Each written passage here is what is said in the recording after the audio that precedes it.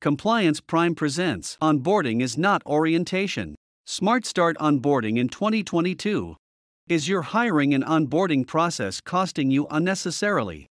Introducing an onboarding program into your hiring process can mean the difference between retaining your millennial employees or watching them walk out the door after several months. Companies who implement an effective onboarding program during the first three months of the new hire employment experience will have 31% less turnover than those who don't. A strategic onboarding plan can dramatically impact your business. Investing in an onboarding process will help reduce turnover and increase new hire effectiveness.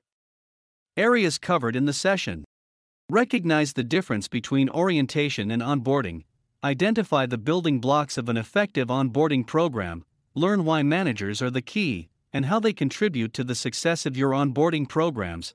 Make sure you know the five key questions new employees have that need to be answered quickly to avoid disengagement. This webinar will be conducted by Marcia Zidle. She has 25 years of international experience with expertise in strategy and alignment, social and emotional intelligence executive and team leadership, employee engagement and innovation, personal and organization change management. This webinar also lets you earn recertification credits from HR Certification Institute and PDCs from SHRM. Stay ahead of the curve by enrolling in this webinar today.